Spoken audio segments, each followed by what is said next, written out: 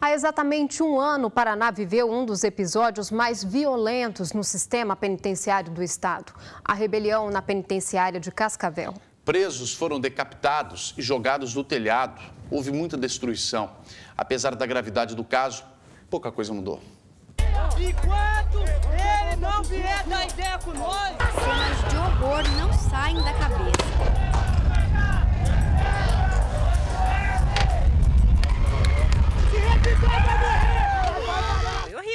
Uma cena que é só em filme pra gente ver esse tipo de cena, né? Eu nunca tinha visto uma cena assim real. E foi o sufoco, a gente passou muita tristeza dois dias. Dois dias sofrendo aqui, esperando, né?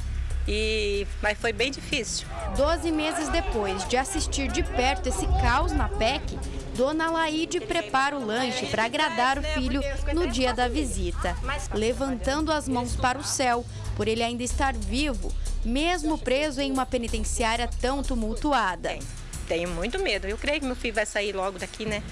Eu, eu tenho medo, né? Cada vez que a gente vem, a gente fica, escuta os, os, meninos gritar lá dentro, dá um negócio ruim na gente, porque eu vi tudo aquela cena, né? É, os gritos, o desespero da fa família aqui fora, então eu temo isso. Cada vez que eu venho, eu fico com medo. A sensação de medo ainda é constante e não é por menos. Este lugar virou cenário de terrorismo durante a rebelião que começou com dois agentes penitenciários feitos como reféns. Da madrugada de domingo em diante, muita tortura. Detentos foram enforcados, jogados de cima do telhado. Cinco mortes e incontáveis feridos. Violência que exigiu cautela da polícia.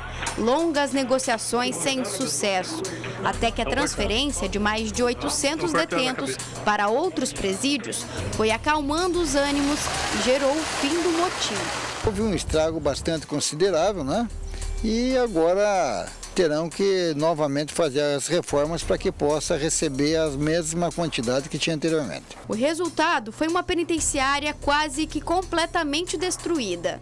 A estrutura continua a mesma desde a época da rebelião e apenas 30% do prédio está sendo aproveitado. É que a reforma da unidade, mesmo um ano depois, ainda está emperrada. O governo do estado informou que, por enquanto, nenhuma empresa se interessou em fazer os reparos. Com muito custo e mesmo no aperto, alguns serviços foram retomados. Hoje dentro da PEC está aparentemente está tranquila, né? Tá assim em termos os atendimentos, em termos de trabalho, por exemplo, ficou prejudicado, né? Porque a fábrica foi destruída, né? A questão das salas de aulas voltaram, tá? Hoje os alunos já estão estudando novamente, tá? A parte médica, por exemplo, tá tem as técnicas de enfermagem que fazem um primeiro um pré-atendimento e no caso, se ela se o preso precisa se ausentar, chama o SAMU ou solicita uma escolta de emergência para alguma unidade médica da cidade. Tudo feito no limite com o mínimo de segurança. O espaço que abrigava 1.040 presos no ano passado tem apenas 320 hoje e ainda assim, com a capacidade reduzida, o número de agentes penitenciários é considerado insuficiente. São cerca de 20 por dia lidando com os detentos. A falta de estrutura para trabalhar ela é terrível, né? E isso em qualquer ambiente de trabalho, né? Sobretudo num ambiente né, de pressão, num ambiente de, de perigo iminente, como é num, numa penitenciária, né? Hoje em dia, tendo em vista os, os problemas que se tem na estrutura de segurança, portões que não funcionam, é, cubículos né, que estão em condições precárias, né, sem que haja a manutenção devida, a falta de quantitativo de, de, de servidores para se fazer um procedimento de segurança, ela acaba né, é, inviabilizando os, os próprios procedimentos. Né. Sem qualquer condição de receber mais presos, a consequência, de acordo com o juiz da vara de execuções penais, é a sobrecarga no sistema penitenciário da região.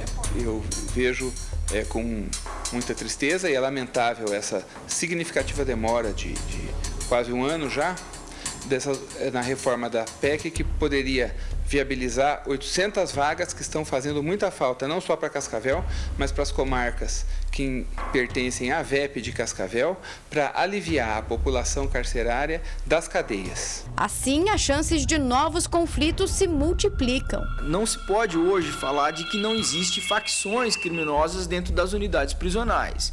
É, e esse tipo de situação, ou seja, essa fa falta de estrutura do Estado dentro de, uma, de unidades prisionais ocasiona conflitos. E esses conflitos são sim ameaças de rebeliões, né, de motins.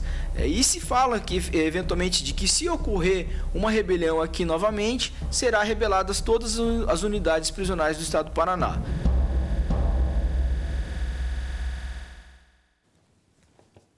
Bem, esse negócio de demora do Estado não é novidade para ninguém, né, para solucionar problema. Não resolve mesmo, é demorado, nada acontece no prazo, é isso a gente está acostumado. Né. Agora, na questão das cadeias, é, quantos presos foram responsabilizados pelos danos? Quantos presos é, foram processados pelo Estado por danos e vão ter que pagar isso para devolver o dinheiro para nós, que pagamos impostos com o nosso trabalho, porque a gente trabalha, a gente não rouba? A gente não mata, a gente não estupra, a gente não furta, a gente trabalha, então a gente paga imposto. Então, eles quebraram o patrimônio público, quem vai pagar sou eu, é você. Quantos foram processados? Quantos vão ter que pagar? Tem gente ali que quebrou tudo, já cumpriu a pena ou conseguiu um benefício e já está na rua, assistindo essa reportagem na TV e dando risada. fui eu que meti fogo naquela lá. Olha lá, aquela lá fui eu que quebrei. Estão dando risada, absolutamente risada. Cadê deixar esse povo preso numa unidade industrial até pagar o dano que eles fizeram lá. Cadê? Hã? Aí assim fica fácil.